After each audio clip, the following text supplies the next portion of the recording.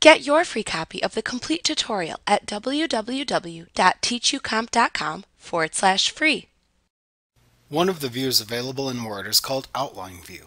In this view, you are able to easily see your document's headings, subheadings, and body text.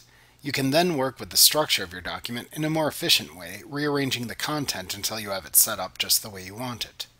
You can switch to Outline View and use its many tools to manipulate your document by clicking the View tab in the ribbon. Then in the Views button group, click the Outline button. The Outlining tab will open in the ribbon and your document view will switch.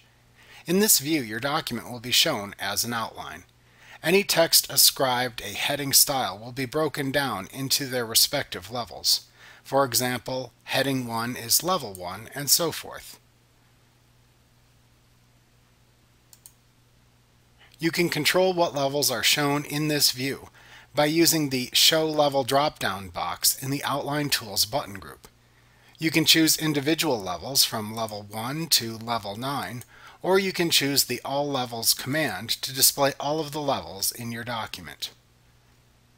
You can check or uncheck the Show Text Formatting checkbox in the Outline Tools button group to display the text with applied formatting or to display just basic text.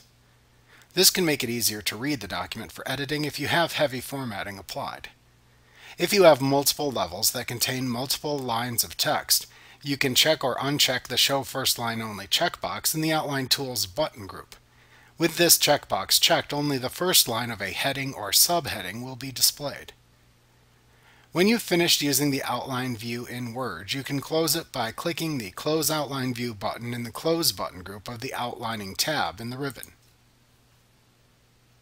Like what you see? Pick up your free copy of the complete tutorial at www.teachucomp.com forward slash free.